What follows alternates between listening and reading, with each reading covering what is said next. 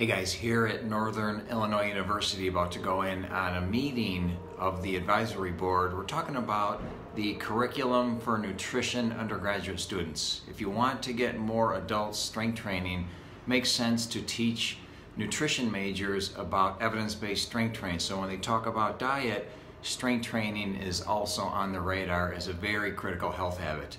So big meeting, I'll let you know how it goes, but this is one more way to get more adults into the game adopting the strength training lifestyle. Talk to you soon. This is day 336 of Train Like a Champion.